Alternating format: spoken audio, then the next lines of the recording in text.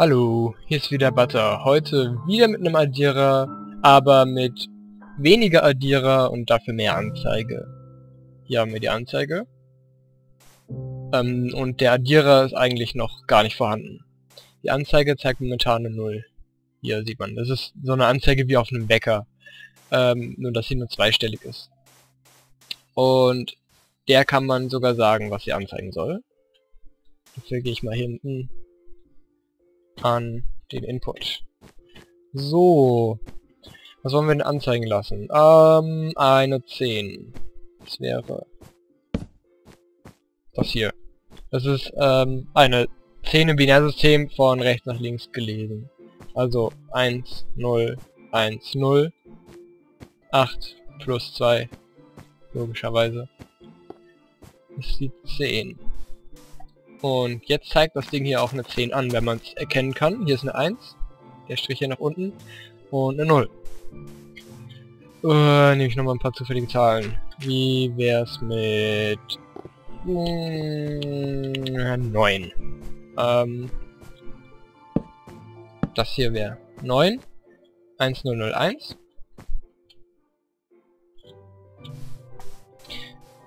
Das linke ähm, die linke Stelle ist jetzt ausgeschaltet und die rechte zeigt 9 an. Hier schön. 9. Ah. Ähm, das funktioniert folgendermaßen.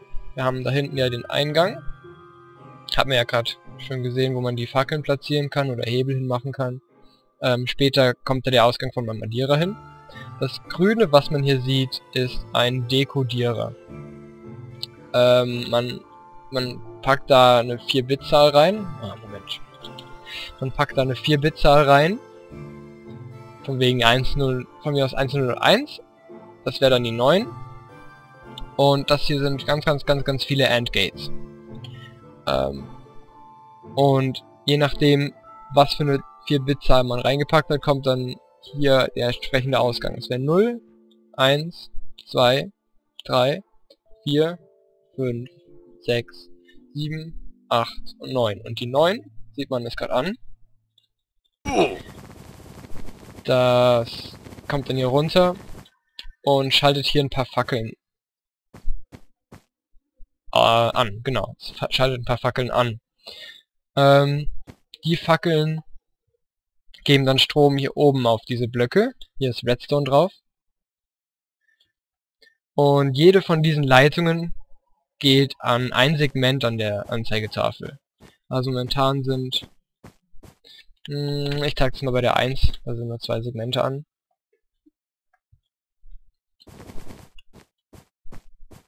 So, das wäre die 1. Hier sieht man jetzt, es sind nur es sind ähm, nur die beiden Segmente an, also die vier Fackeln. Und das Ganze spielt sich... Man muss hier so viel laufen. Hier ab. Nein, hier. Genau, die zwei Fackeln sind an. Das heißt, die zwei Leitungen hier oben sind an. Und die geben Strom einmal auf diese Fackeln da. Ich weiß nicht, ob man das erkennen kann. Also an diese Fackeln. Und das Signal geht nach oben an diese Fackeln. Und je nachdem, welche Leitung hier unten an ist, werden dann verschiedene Segmente angemacht. Beispiel bei der 2 ist es die hier von, von hier aus links oben, ähm, die drei horizontalen und das rechts unten. Also, na, man kann es nicht richtig zeigen, das hier. Und das gibt dann am Ende eine 2. Der Dekodierer ist auch nicht allzu kompliziert. Ich mache hier wieder Licht an. Ähm, von da hinten kommt ein Signal. Das geht hier durch alle AND-Gates und nur bei einem AND-Gate ist die Bedingung erfüllt.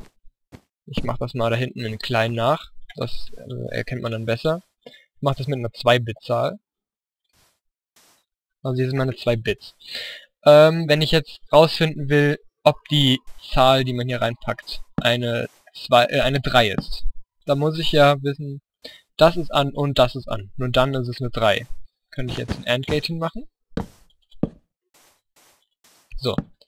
Ähm, und das hier ist jetzt nur an, wenn diese Binärzahl eine 3 ergibt. Bei einer, äh, bei einer 1 geht's nicht. Bei einer 2 geht's nicht. Und bei einer 0 auch nicht. Und dann könnte ich auf die Seite machen ein AND-Gate ähm, Entschuldigung, ein AND-Gate, das nur an ist. Sollte eigentlich aufhören zu sprechen. Ähm, ein AND-Gate, das nur an ist, wenn das hier aus ist und das da an. Das wäre dann eine 1. Weil das hier invertiert wird. Also, das hier ist erfüllt, das hier, die hier, ah. Also, das Endgate geht nur an, wenn die beiden Fackeln aus sind. Und die Fackel ist nur aus, wenn das hier auch aus ist. So. Und die geht nur aus, wenn das hier an ist. Also ist das AND nur erfüllt, wenn das eine an und das andere aus ist. Und das wäre eine binäre 1. Ähm, und dann habe ich mir überlegt, wie man das Ganze kleiner machen kann, so dass man das mit in dem Fall 16 Zahlen machen kann. Einmal, ja, von 0 bis 15. Und dann hatte ich die Idee. Also nochmal hier die 2 Bits. So. Das hier wäre jetzt eine 3. Hatten wir eben schon. Ähm, hier ein AND-Gate. Das ist die 3. Jetzt können wir aber hier nicht noch eins anschließen und deswegen habe ich das AND-Gate ein bisschen umgebaut und habe diese Fackel und diese Leitung oben drauf gebaut.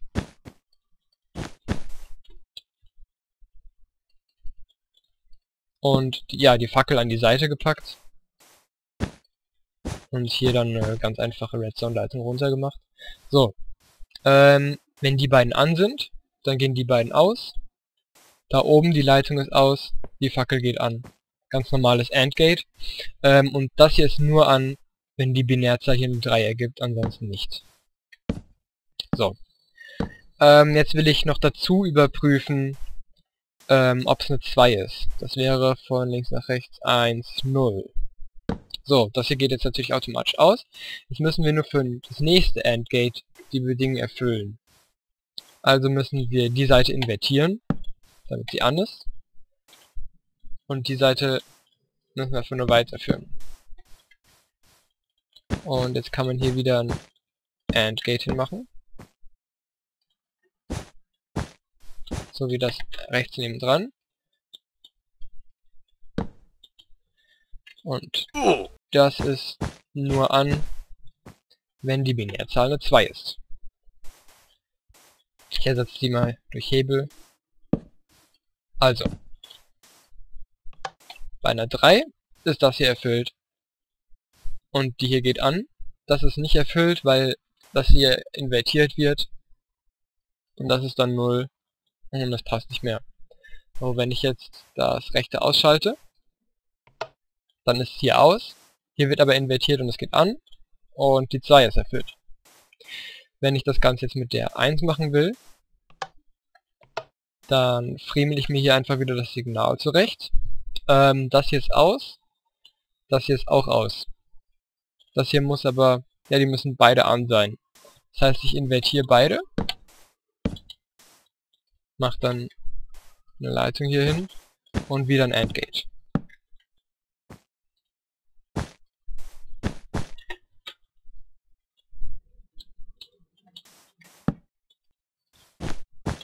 So, das hier ist jetzt an, wenn hier drüben der Input 1 ist. Und dann fehlt hier noch 0. Muss ich mir das Ergebnis hier wieder zurecht machen. Ähm, das ist aus. Also muss ich es invertieren, damit es beim nächsten wieder an ist. Und das ist eh schon an. Also kann ich das hier mit Repeat dann einfach weiterführen. Und wieder ein AND-Gate machen. So. Das hier ist die 0. Sind wir 0, 1, 2 und 3. Und egal welches wir hier anschalten, von mir aus die 2, dann ist hier 0. Nein, nein, nein. 3, 2. So. Die 2 ist an. Ähm, bei der 0 ist das da hinten. Bei der 1 ist das zweite, bei der 2 ist das dritte und bei der 3 ist das vierte an. Und so habe ich das mit 3 Bits gemacht. Ähm, übrigens, wenn man die hier alle ausschaltet, dann sieht man hier übrigens, wenn man es richtig gemacht hat, sieht man hier die Zahlen, das ist 0. Wenn man hier jetzt die Fackeln anschaut, dann ist hier das 0, 0, das ist 1, 0, also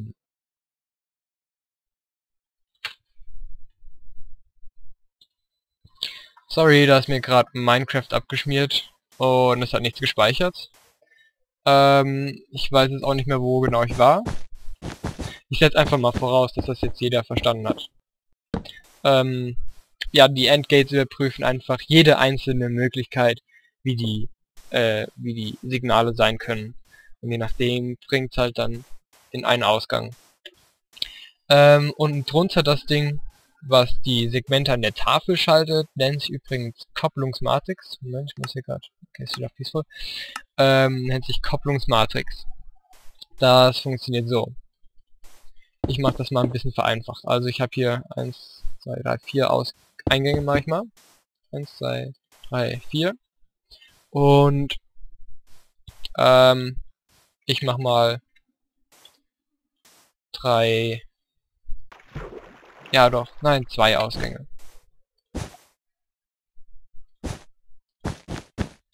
So.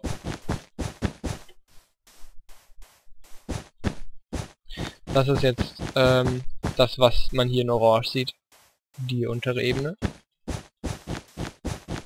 Ah, ich wollte nur zwei Ausgänge. So. Ähm, man braucht hier einen Inverter. Und dann... Ich, ich setze das mal kurz hier auf, damit ich es erklären kann. Äh, das war Blödsinn. Weil das alles eins nach hinten muss.